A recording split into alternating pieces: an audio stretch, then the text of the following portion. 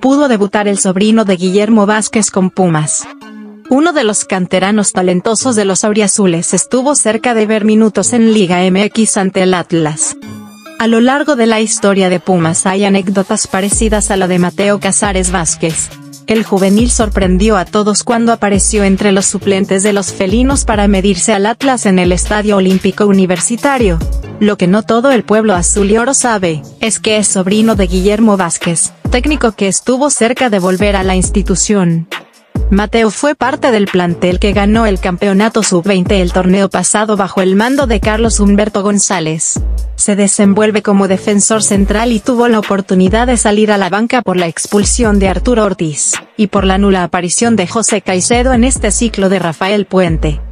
Aunque se puede pensar lo peor, Identidad Puma logró saber que el juvenil logró hacerse un hueco dentro del club universidad gracias a su talento y no por su apellido.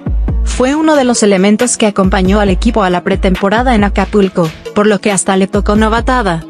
Si bien es cierto que no tendrá tantos minutos ya que Jonathan Sánchez llegó como refuerzo y Galindo también juega de central, la realidad es que es una de las apuestas de la institución a futuro. Los que saben dentro del club aseguran que la camada que consiguió el campeonato sub-20 dará de qué hablar muy pronto.